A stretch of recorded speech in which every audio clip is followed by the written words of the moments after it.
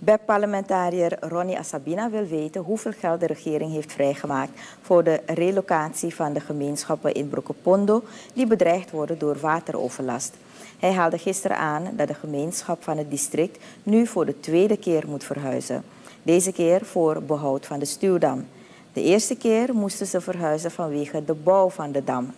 Asabina zegt dat de bewoners van het gebied geen zicht hebben op wat er komen zal. Graag vernemen we expliciet en concreet van de regering waarvan de begrote middelen vrijgemaakt zijn voor zo'n immense operatie.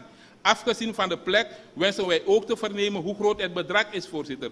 Meneer de voorzitter, wij brengen u in herinnering dat toen de mensen in de 50 of 60 jaren moesten verhuizen, er geen waardering klonk, voorzitter. Niet alleen, maar harde toezeggingen zijn ook onvoldoende waar gemaakt. Het, hoe luidt het spreekwoord, weer, meneer de voorzitter? Tesneki bet u, voorzitter, horen je vrede. Meneer de voorzitter, wij vragen bijzondere aandacht voor het maken van weloverwogen keuzes. Die niet alleen op korte termijn een positief effect hebben op onze welvaart- en welzijnniveau, maar ook op de lange termijn op die van toekomstige generatie.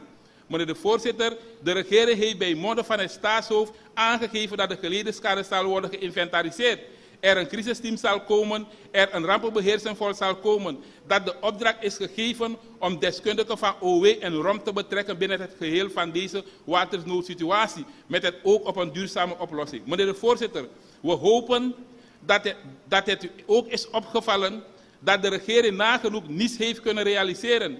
Er nog geen structuur in place is, laat staan dat er invulling hiervan heeft plaatsgevonden. De volksvertegenwoordiger haalde verder aan dat de regering alleen in de toekomstige tijd praat over een oplossing voor dit probleem.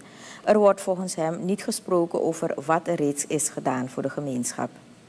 De regering is van plan. De regering zal de regering is voornemens. De regering heeft het besluit genomen om dit te doen, dat te doen. Nauwelijks is naar voren gekomen wat de regering reeds heeft gedaan. Waar en wat de wapenfeiten zijn, meneer de voorzitter. We kijken al langer dan een maand aan tegen deze situatie. En wij vinden dat er nog steeds om de vette brein heen wordt gedraaid. Niet duidelijk is op welke wijze en in welke mate men een, toekom, een tegemoetkoming voor immateriële schade die men heeft geleden en nog steeds leidt, als ook compensatie voor kosten die worden gemaakt zal krijgen.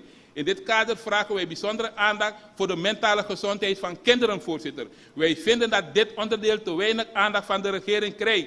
Kinderen die angstig worden, kinderen die piekeren, kinderen die, die zich zorgen maken, voorzitter. Waardoor dat deel dat de school kan bezoeken zich niet goed op school kan concentreren. Voor dat deel dat onderwijs ontbeert, voorzitter, is de situatie nijpender. De vraag is hoe deze jeugdigen en jongeren hun angstgevoelens kwijt moeten raken, voorzitter.